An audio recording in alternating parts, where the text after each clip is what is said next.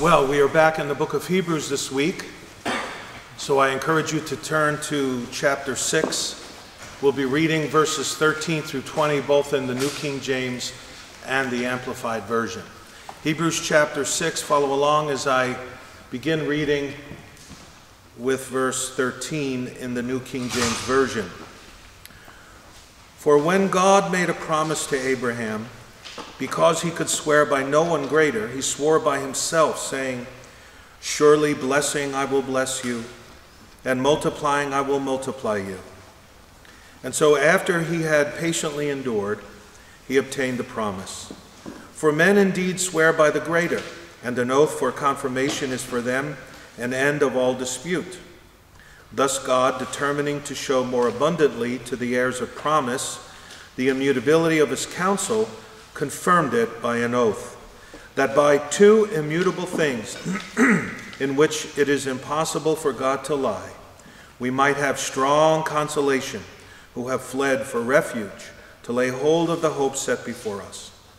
This hope we have is an anchor of the soul, both sure and steadfast, and which enters the presence behind the veil, where the forerunner has entered for us, even Jesus having become high priest forever according to the order of Melchizedek. And then the, then the same text in the Amplified Version.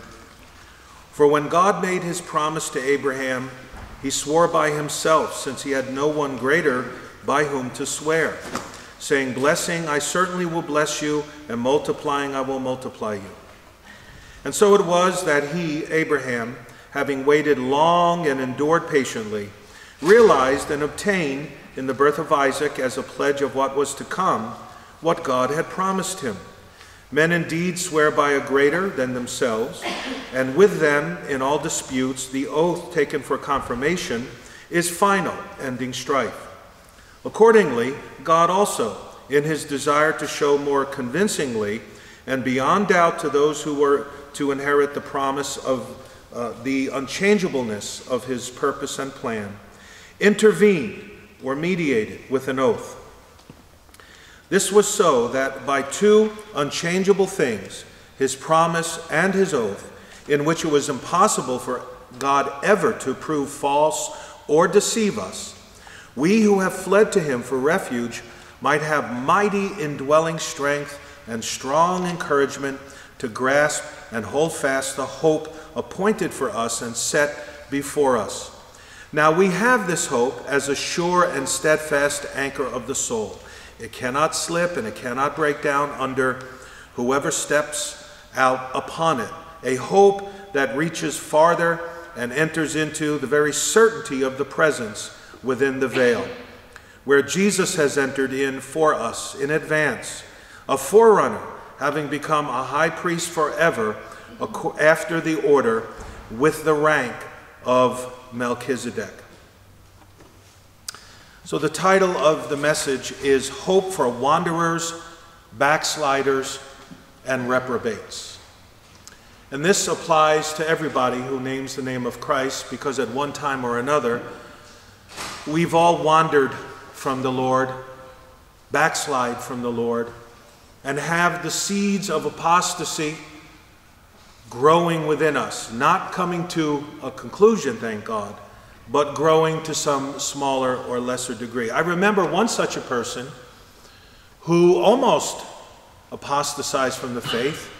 I had counseled him several times. He had been walking with God, had a profession of faith for several decades.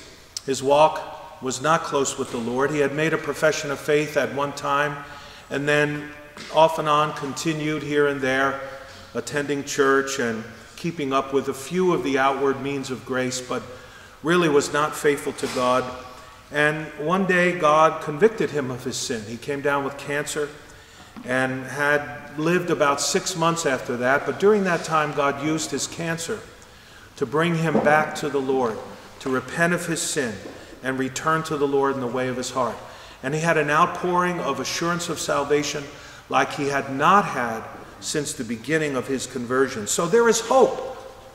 There is indeed hope for all of us who claim to be God's children, to be Christians, who wander from God, who backslide, even wander very, very far from God for a long period of time. And now, by way of introduction, with that open, let me direct your attention to the text. Having finished the third warning passage in Hebrews, which was chapter 5, verse 11 through chapter 6, verse 12, in the last message, we come to the last section of Hebrews chapter 6, which is verses 13 through 20.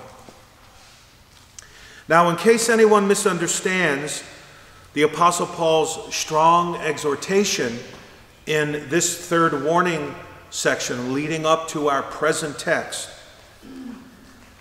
Paul ends this section with a tremendous positive appeal to those who are wavering and struggling Christians that they might persevere in the faith and press on to spiritual maturity.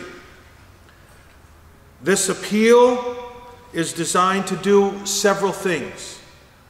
First, to jumpstart the growth process which has stopped or even reversed in many of the lives of his readers. And this applies to us today as well. This appeal in our text, verses 13 through 20, is designed to stop believers from looking back to the world and to look to Christ. It's also designed to remove the doubts, fears, weaknesses, the guilt, the blindness, the lukewarmness, and forgetfulness that many believers were paralyzed by for a long time and replace that paralysis with hope and faith, peace, assurance, and renewal in the Spirit.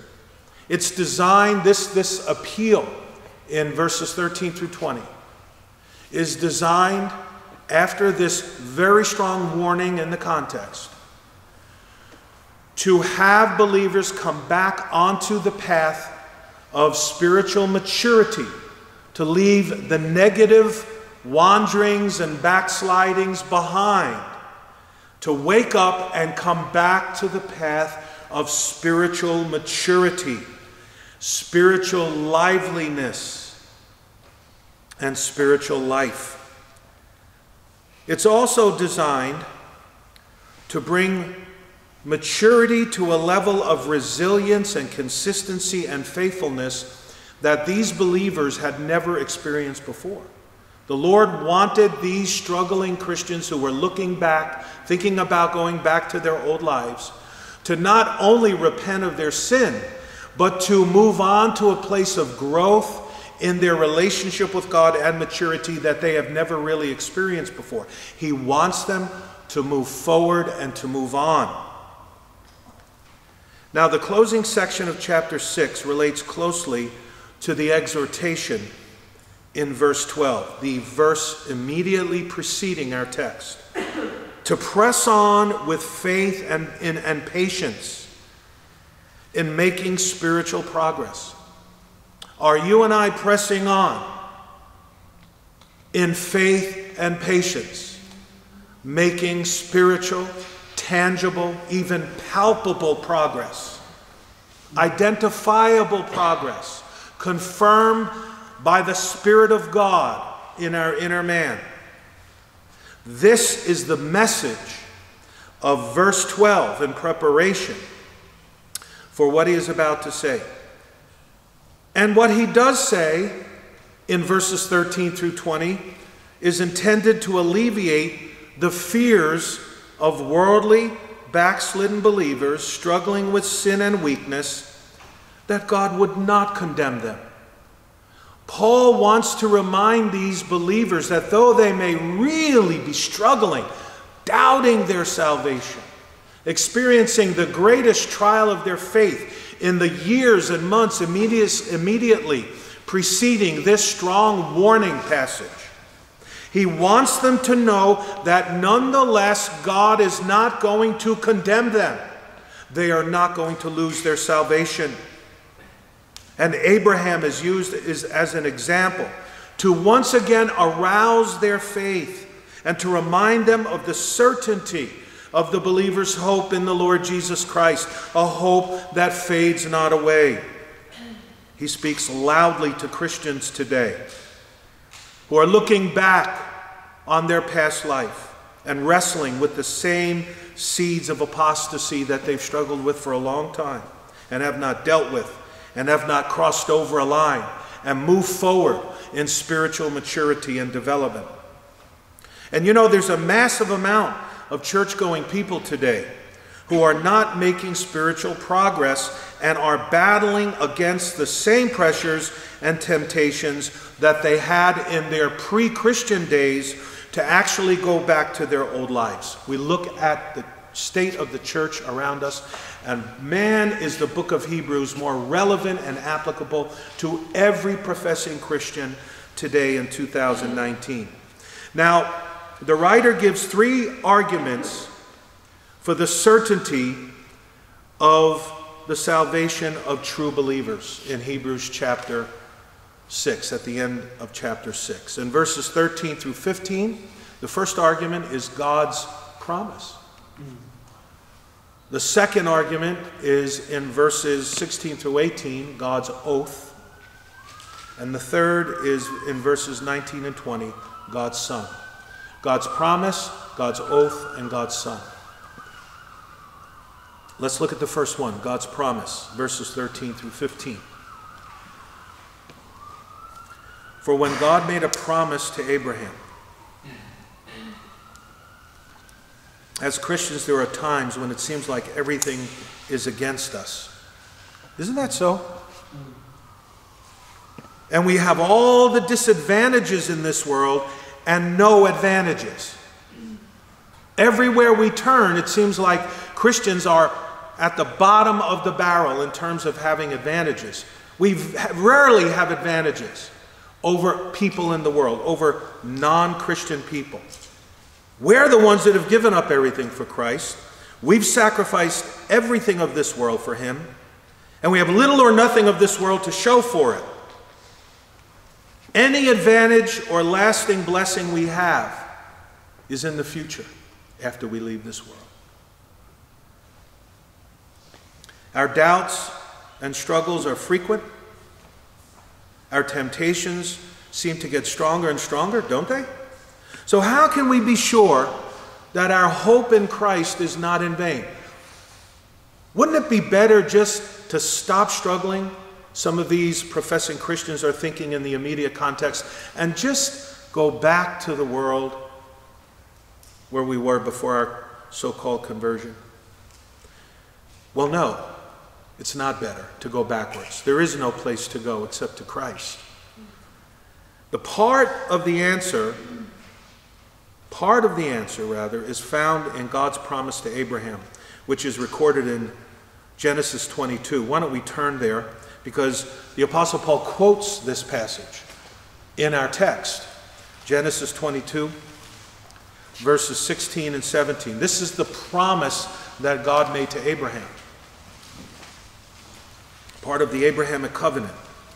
He says in Genesis 22 16, By myself I have sworn, says the Lord, because you have done this thing and have not withheld your son, your only son. Blessing I will bless you, and multiplying I will multiply your descendants as the stars of the heaven and as the sand which is on the seashore. And your descendants shall possess the gate of their enemies. Now remember, Abraham is an example of all believers who struggle with doubts and complacency. Do you struggle with complacency and doubts? I do. I do once in a while. But God's promise to Abraham included much more than large numbers of physical descendants. That's part of the promise. The promise also included all that he would provide in the person of Christ Christ himself, and to Abraham's spiritual offspring. That is, the promise was also that Abraham would have a spiritual seed, which includes you and I if we're believers. There's the physical descendants, the physical seed. There's the spiritual seed, which includes all believers. And then there's Christ himself. All three of those things were included in this promise, the Abrahamic covenant. This is important because the book of Hebrews is primarily addressed to the spiritual seed, many of whom are looking back like Lot's wife, not forward in faith like Abraham. Despite Abraham's failures and sins, though, God kept his promise. He kept his part of the covenant. And God saw, the, or Abraham saw, the physical part of that promise fulfilled in the birth of Isaac. Many of God's promises then do not depend on our character, but on God's faithfulness. Abraham made mistakes, he committed sins, but the promise was fulfilled because of the one who made it. Abraham is a role model of faith and hope in God and his promises, especially for struggling Christians. These one, these in the first century, and those of us today who are thinking about going back to the world, who are going through really difficult times, wrestling hard with sin and temptation. Every day, the conflict with the world, the flesh, and the devil. And often we're reflecting upon our struggles in the flesh and we think about how can I just take a year off and get drunk and do drugs and this, that, and the other thing and just and just anesthetize my spirit, my physical senses for a little while, like Noah did and got drunk and after he planted a vineyard? How long was he drunk off and on? Who knows? The flesh wears out and we, some, justify getting comforted by substances rather than by the Holy Spirit. And instead of turning to Christ in faith, faith in his promises, like Abraham clung to the promise of God for 25 years. From age 75, when God gave him the promise, until he was 100 years old. Abraham is a role model of faith, and Abraham did not have the scriptures, by the way.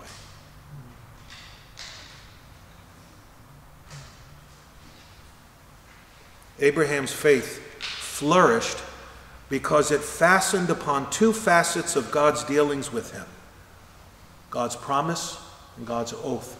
And God brings this up to new covenant believers. Now, you remember from Old Testament history, a promise of many descendants was given to Abraham while he was still in Haran, recorded in Genesis chapter 12, verses 1 through 3. That's the first passage in which God makes a covenant with Abraham, and then God confirms that covenant in several subsequent passages in the book of Genesis. It was repeated when he arrived at Shechem in Genesis 12, just a few verses after, in verses 6 and 7, and reiterated on several occasions after that. Abraham was encouraged and supported spiritually off and on by these promises. He embraced them he fell back on these promises, he clung to them, and waited for 25 years until he was 100 years old when Isaac was finally born and the, and the promise was fulfilled. When Isaac had grown into, into young manhood, God commanded Abraham to offer Isaac as a sacrifice on Mount Moriah. At the last moment, God stopped Abraham's hand from plunging the knife into his son and after this dramatic act of Abraham's faith, God renewed his promise of many descendants and confirmed it at that time with an oath. He gave the promise first, and then in Genesis 22 17, he confirmed the original promise he covenanted with Abraham back in chapter 12 with an oath in Genesis 2 22 and 17, which is the passage that is quoted in our text.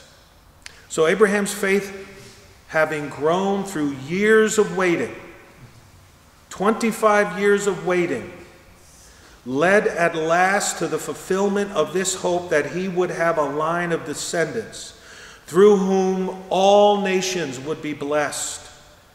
That hope found its ultimate fulfillment, as I mentioned, in Jesus Christ, who suffered and died and rose from the dead to save the spiritual seed of Abraham from death and hell. And this is the point. Christians today have more of God's promises than Abraham did.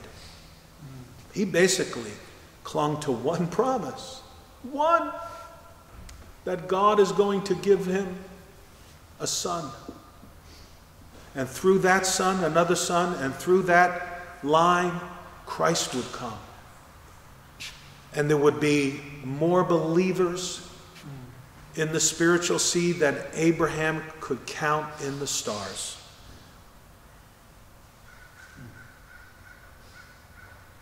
We have thousands of promises in the scripture. Thousands that are of equal weight and power to the promise God gave to Abraham. Yes, it is trusting God's promise when you're at your worst and thinking about going back to the world, looking for a rock steadfast foundation that you can count on in the midst of the fiery trial in your thoughts and in your hearts when the world is being dangled like a carrot in front of your eyes, saying, Come back, come back. You need a rock like promise. But what was it exactly that not only kept Abraham's faith alive, but listen, but kept his faith growing? and spiritual progress and maturity increasing over time. And this is where Abraham, this is where we go wrong, and this is where Abraham did something right and didn't give up, and he kept growing. His faith kept increasing over time. He kept maturing in his relationship with God and in his faith. His progress was not stunted.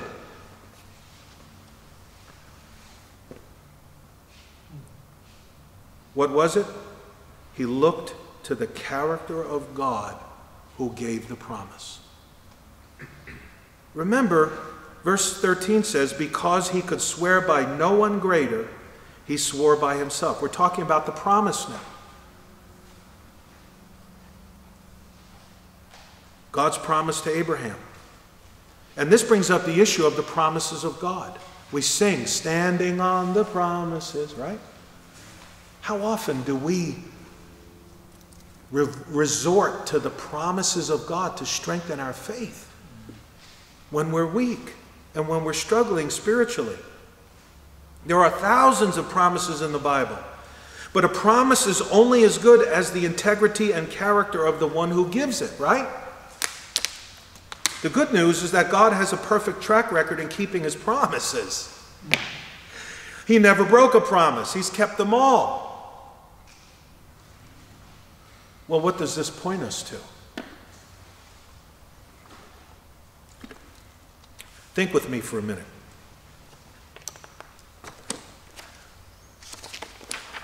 What's the first thing that comes to your mind when someone promises you something? What's the first thing you think? Will he keep his promise? And when you consider the chances of that happening, what do you think about next? You're now face to face with the core issue the person's character. It's not so much somebody making a promise to you, it's will they keep it and what will be the guarantee that they will keep it? Well, underneath all of it is their character. What's their track record like in keeping their promises? Well, if you can think, well, so and so never broke their promise to me well, then you're encouraged, right? It would be likely for that person to keep that promise made to you. But being a human being, it's also likely that that person, that same person, may break the promise one day because they're human, they're sinful. But not so with God.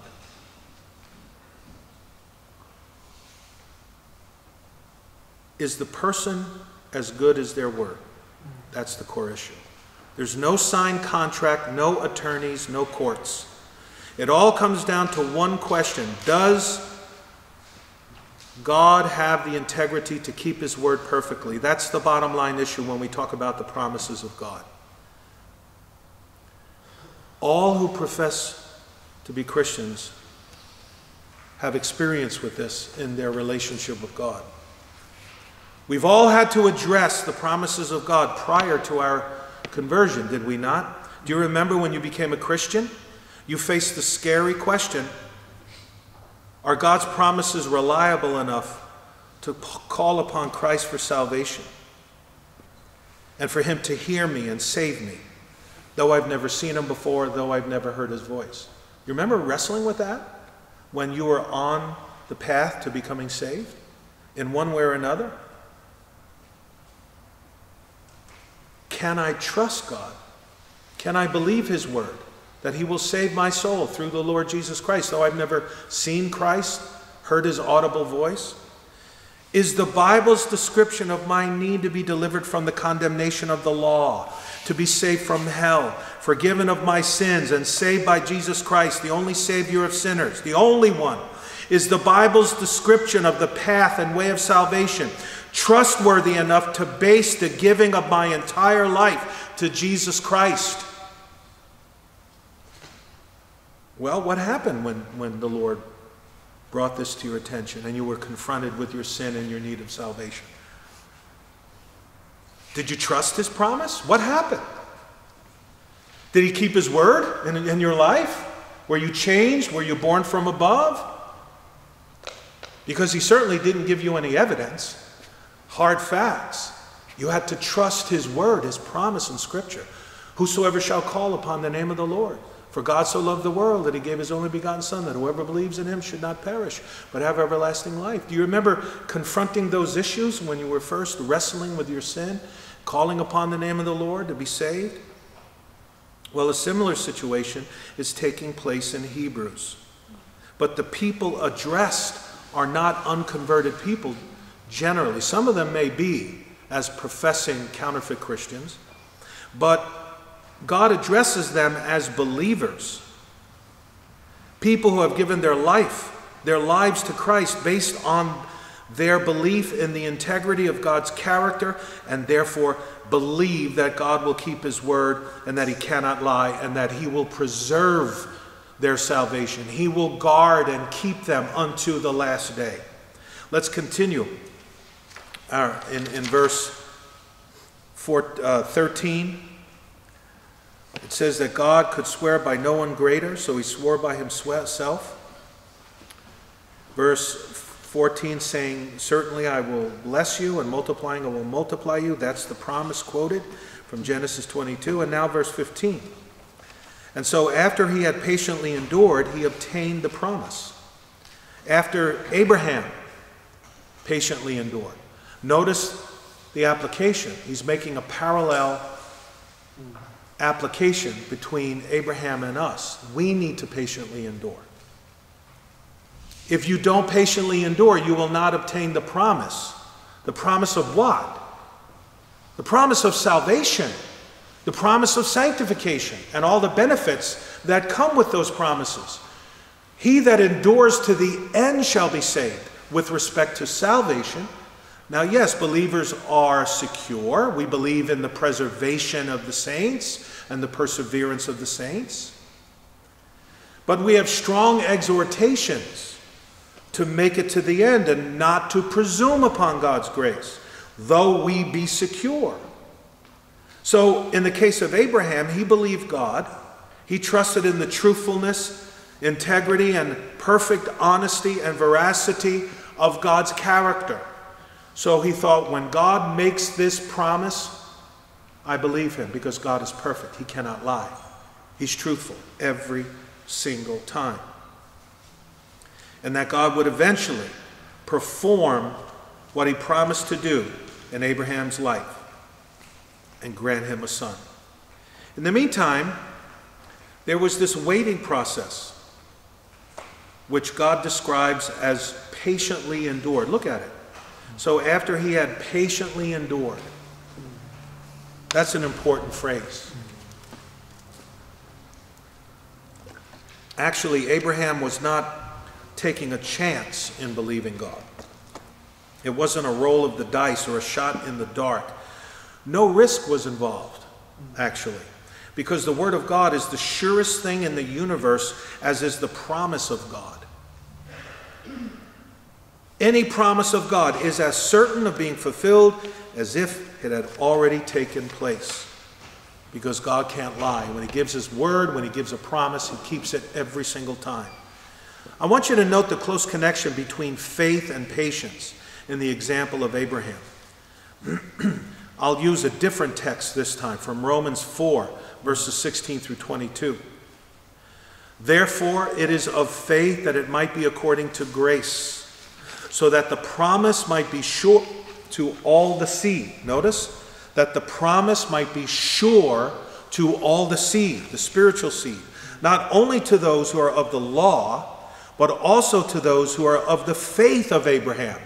That is the spiritual seed of Abraham, who is the father of us all. As it is written, I have made you a father of many nations, in the presence of him whom he believed, God, who gives life to the, de- the dead and calls those things which do not exist as though they did, who, contrary to hope, in hope believed, so that he became the father of many nations, according to what was spoken, so shall your descendants be. Very important point. God waited 25 years so that Abraham was past child conceiving age, and his wife Sarah was 90. She was past childbearing age.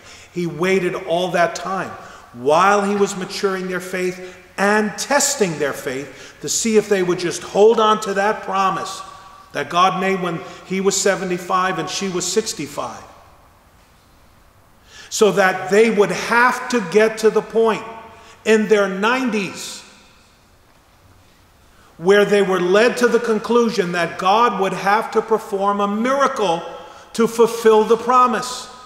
And the same thing is true with us. The application is when we are tempted to go back, we think to ourselves sometimes, I don't know how I'm going to be able to withstand the pressure to fall into temptation and go back to my former way of life as a slave of sin. I'm just going to have to trust God to do a miracle and preserve my body and prevent my body from giving itself over to the lust of the flesh and being consumed by this wickedness. And that's exactly what God does. But you, like Abraham and me, we must daily renew our faith in the promise of God. And this is where we get into trouble. Abraham clung to the hope that God would fulfill his promise. He had to step outside the normal bounds where faith doesn't usually go. He had to trust in God for a miracle to provide a son when he and his wife were not able to have one in the normal course of things. And the same thing is going to happen to you as you grow older and older in Christ. The pressure is going to get greater and greater in every way upon you, emotionally, spiritually, and physically and financially. Like these first century Hebrew Christians, as they got older in the faith, the spiritual pressures grew upon them. As the decades went by, and their former life was just in the very, very far distance. The older you get in Christ, that old life is, is so farther and farther away. And they began to think no more family, no more relations with mothers and fathers and children. I am not going to be able to enjoy anything of this world or very much of this world as I get older because the temptations get greater and the pressures get greater upon us as Christians. So you and I are going to need our daily miracle of grace to keep us Not only just to barely keep us, but to grow and mature in a positive sense in the faith. Are you doing that? Are you growing? Are you maturing? Well, the key here is the phrase patiently endured. You need to be patient with the word of exhortation. You need to be patient as God trains you and chastises you to show you that you are not the mature Christian you thought you were because you were relying upon your own strength. He exposes the weaknesses of your heart after you've been saved 10, 20, 30, 40, 50 years and shows you your only source of grace and strength is faith in the Lord Jesus Christ and patiently enduring, trusting in Him for your miracle of grace daily that you need to be renewed in the spirit of your mind, to have your faith renewed. Are you following me, brethren? Just like when you and I were redeemed and justified, it was a miracle of God Sanctification is the same thing. You and I need a miracle to make it. And if you're not exercising faith and maturing and growing, some of, of us who claim to be Christians are going to fall into this category of apostatizing. Apostatizing. The strength of the flesh will only last so long. You and I must patiently endure. We must grow. In our text, the phrase patiently endured is the exact opposite of slothful or sluggish, which is the problem that many of these believers were having as we read in verse 12. The previous couple of verses ago, he says that you do not become sluggish, but imitate those who through faith and patience inherit the promises. Notice, faith and patience go together. Let's continue reading Romans 4, picking it up at uh, verse uh, 19. And not being weak in faith, he did not and he did not consider his own body already dead, since he was about a hundred years old, and the deadness of Sarah's womb. He did not waver at the promise of God through unbelief, but was strengthened in faith, giving glory to God. That's maturity. That's growing in the midst of weakness and being fully convinced that what he was promised, he was able also to perform. And therefore, it was accounted to him for righteousness. And many of you know the readers of this letter to the Hebrews were about to give up. Their endurance was running out.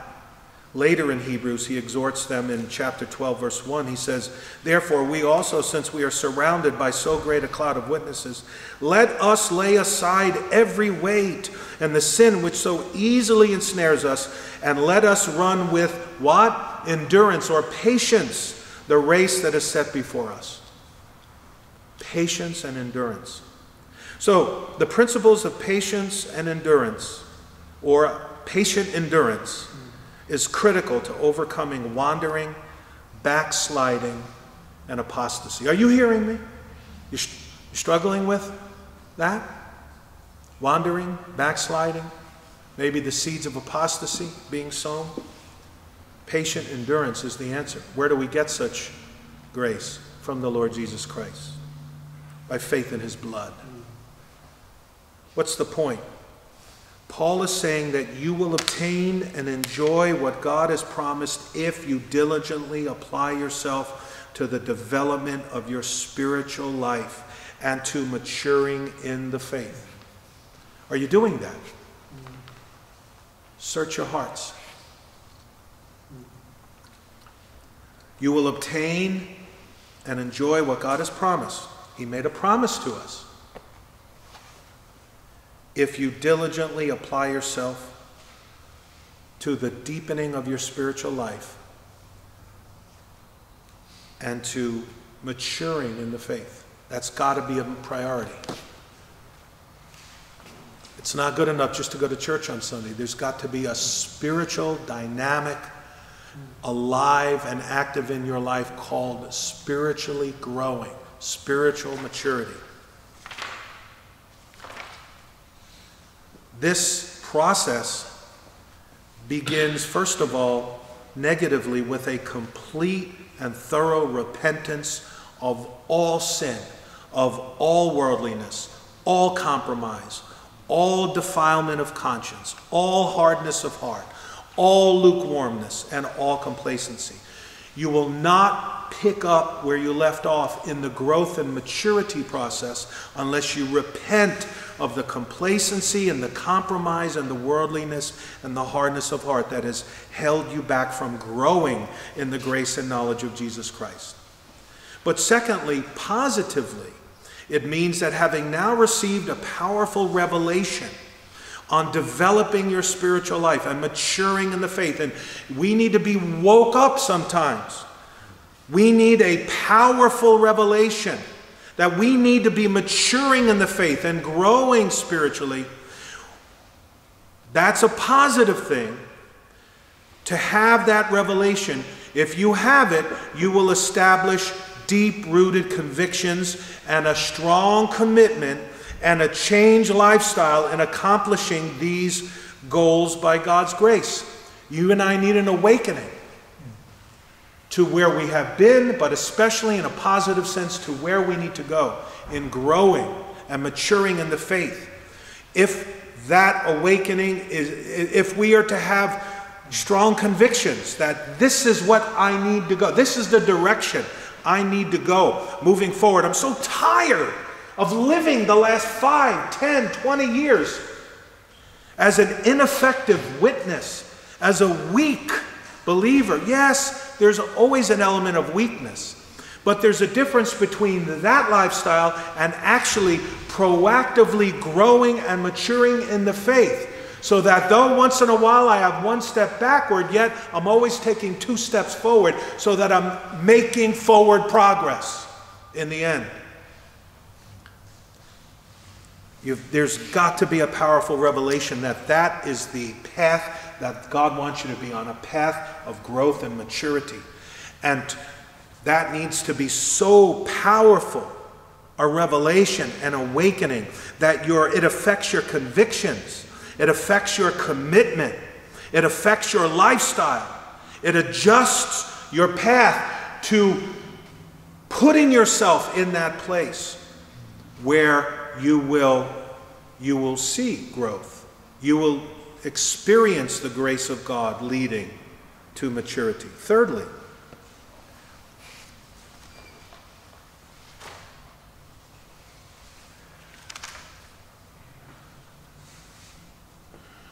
in overcoming wanderings, backslidings, and the beginnings of apostasy, it is essential to understand and apply the principles of spiritual maturity in the Bible.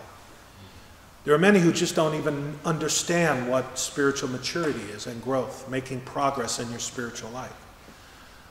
They think that they made their commitment to Christ, they became a Christian, they said their prayer, and now they can just do what they want to do. And they basically live the same life, they may with a little bit of sprinkling of religion, they, they know very little or nothing of the spirit filled life that characterizes regular spiritual growth and maturity. But to do so, to experience maturity, it's essential to first of all understand and apply the principles of this maturity in your life. And what are they? Well, the first one we've already talked about it's patient endurance. It's not how you start that matters, it's how you finish. And if you're going to grow and mature in, in your Christian life, you're going, you're going to need to realize that there are going to be setbacks, there's going to be roadblocks, there's going to be stumblings. But you need to prepare for and allow for resiliency in response to those stumbling blocks. In other words, when you experience a setback, you have a mountaintop experience, but then you have a setback and you fall into a valley, you cannot be so traumatized by that that you take another five years off from walking with Christ in the inner sanctuary of your heart. Maturity means that you need to overcome, you need to be prepared for setbacks and what you're going to do spiritually, like patiently enduring, like rebounding very quickly. You need to understand and apply the principles of spiritual maturity, including patient endurance, also daily use of the means of grace. They have to be so much an integral part of your life, using the Word of God, meditation, and prayer, much and richly in your life. Understanding and applying the principles of maturity means that you have to experience organic union and communion with the local church. There's no such thing as a church goer in understanding our relationship with the local church. It's not just showing up on Sunday for a couple of hours. The Bible teaches that the nature of the, of the new covenant church is that it is an organic union, and without your life, your heart, your spiritual gifts intertwined into the life, the heart, and the spiritual, and with the spiritual gifts of the assembly, then that is, uh, then you you don't understand what the local church is in essence. It is an organic union and communion with one another, which is descriptive of using spiritual gifts, bearing one another's burdens, showing hospitality, getting involved in the spiritual life of the body, not just getting together and talk about the world, but actually exercising spiritual gifts, having a spiritual mindedness when we show up at church. Through faith, expecting God to open doors of opportunity to minister to one another in the Spirit praying for one another and with one another spontaneously because we're so in tune and we so understand the organic nature of the church. But in our society, very, very often, we don't have the time to prepare in such a way. But Bible says if you're going to mature, you need to prepare because the other gifts of the body and the other parts of the body are also designed by God to help you mature and grow in the faith. And if you don't avail yourself of that, then there's a lack of maturing, a retardation of that re- maturing process taking place.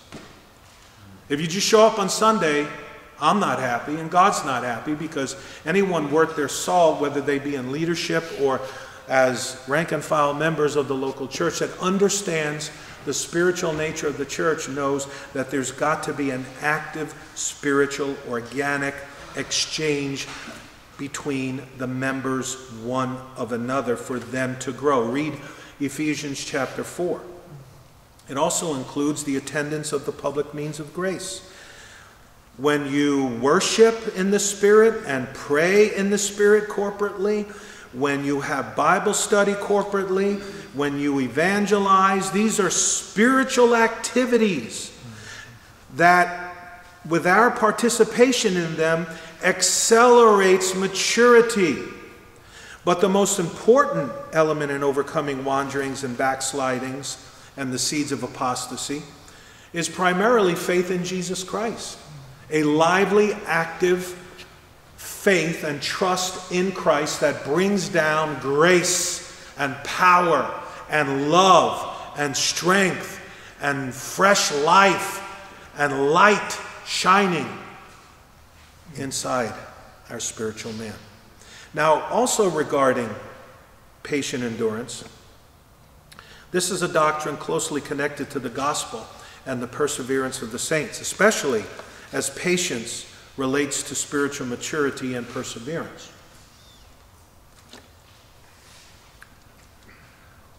Patience is very important to help us persevere and not get bogged down in these wanderings and backslidings for weeks and months at a time.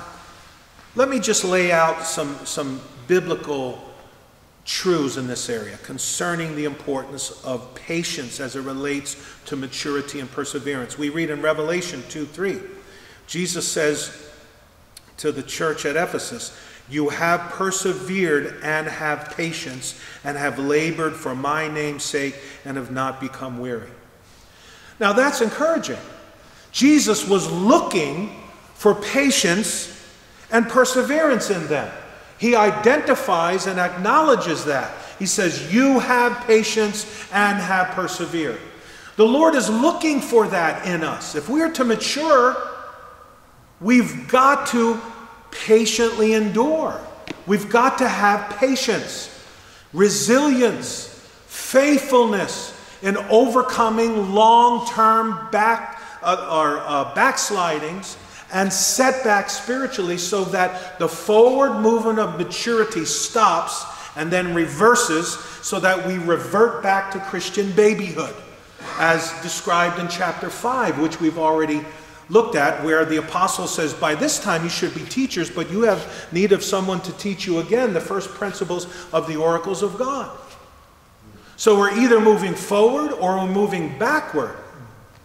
And just because on the surface you think you're doing okay with your knowledge of the scripture, spiritually beneath the surface, surface that is unnoticeable to us, we're moving backward. And we're so blinded by, them, by our situation that we rely upon our head knowledge as an indication of our spiritual health when it isn't necessarily. Amen? James 1 2 through 4 says, My brethren, count it all joy when you fall into various trials, knowing that the testing of your faith produces what? Patience. Patience. But let patience have its perfect work, that you may be perfect and complete, lacking nothing. Sometimes the fiery darts of the devil and our own sins shock us so greatly from our place of of having a clear conscience and, a, and clean hands and a pure heart, short accounts with God.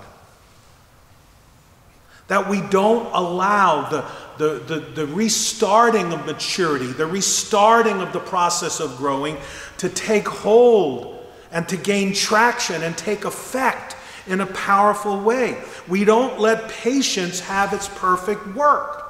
What does that mean? In other words, when you have a setback, rebound quickly so that your patience can, can be extended for longer and longer periods.